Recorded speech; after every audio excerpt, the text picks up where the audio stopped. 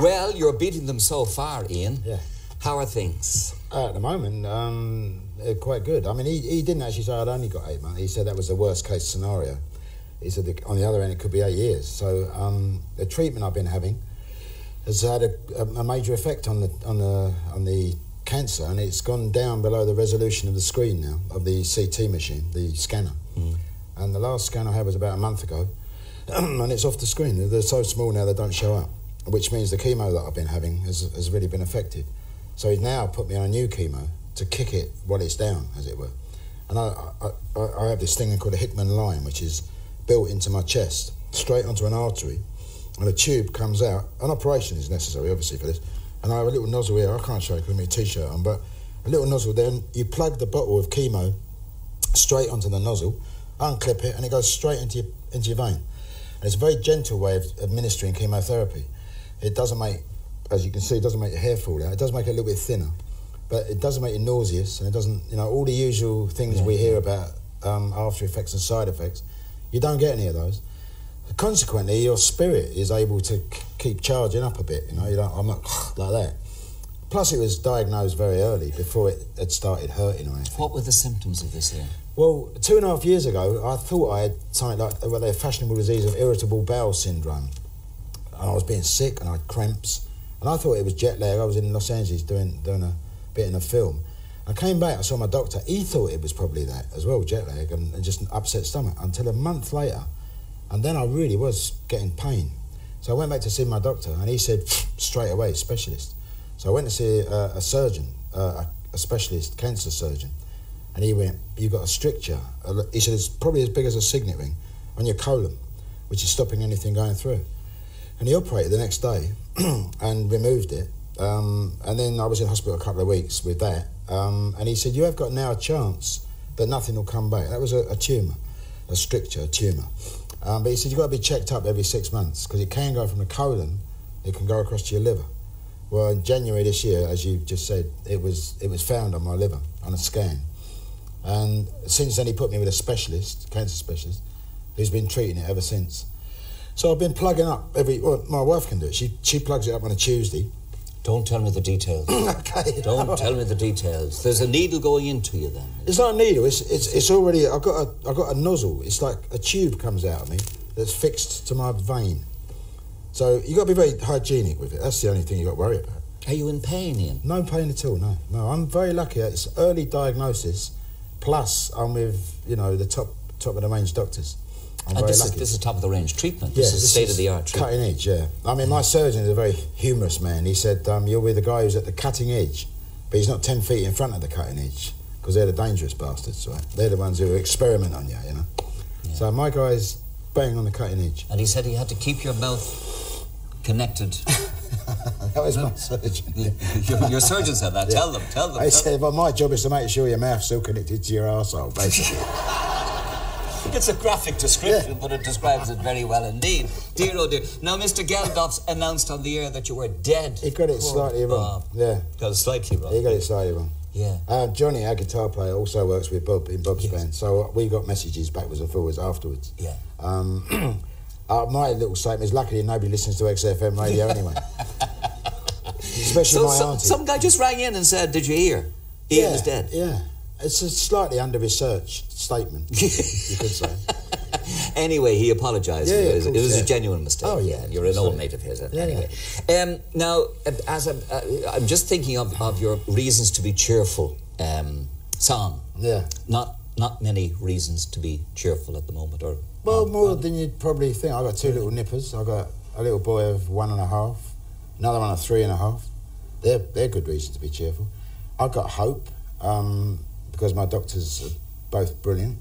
Um, it is in abeyance at the moment, or in remission. So, yeah, and I've got another reason to be cheerful. He's made a good record, and the boys are back together yeah. um, on a mission again. I mean, we've stayed together as a band. We play, we played Dublin probably more times than we've played London in the last five years. But Yeah.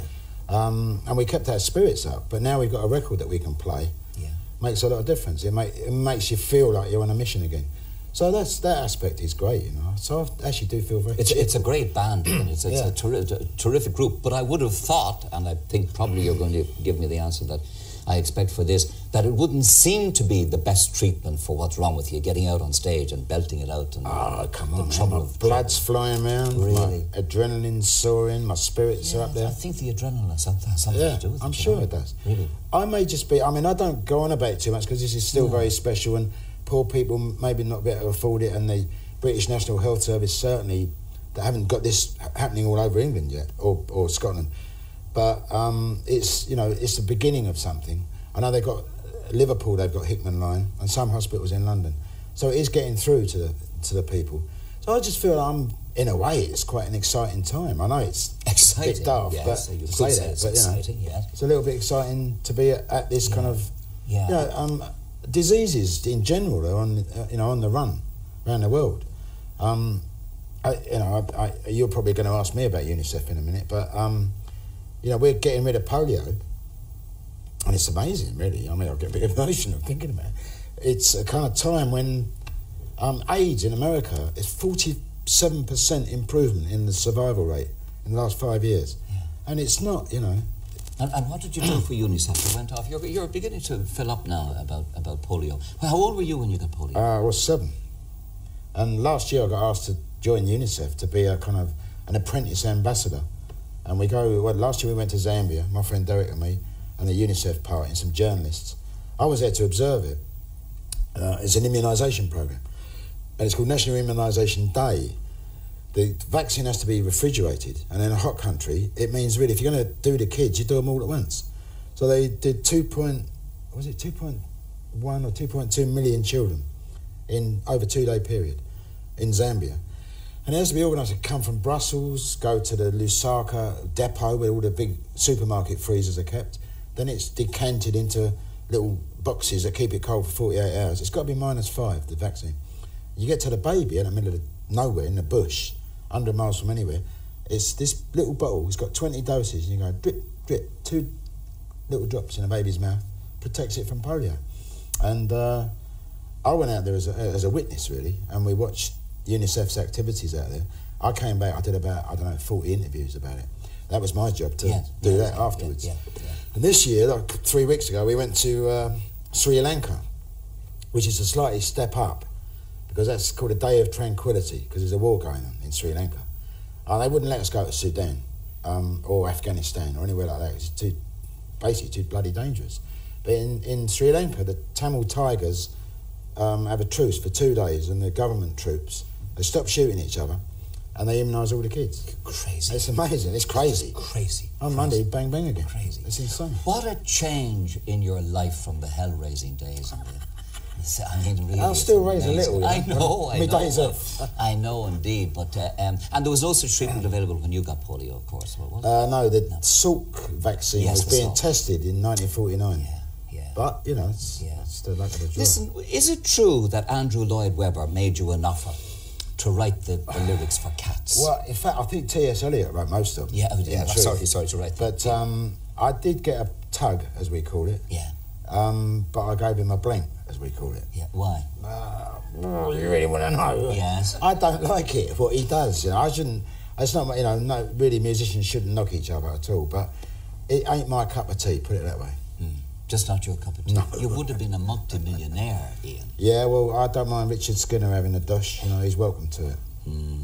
No, it wasn't Richard Skinner. It was Richard Stilgoe. Uh, Richard it was, and and Cameron Mackintosh told me recently. If you're going to drop names, I want to be in there with the best of them. Cameron Mackintosh told me recently that 20 years later, the so many people would not think, wouldn't dream of investing in cats, and they had to make do with a lot of small investors. Yeah. And each of those has made 200% on their money every year, each year for 20 years. No, it's a, it's a money spinner. It's a money spinner. But, Fantastic. uh, you know, what can I say?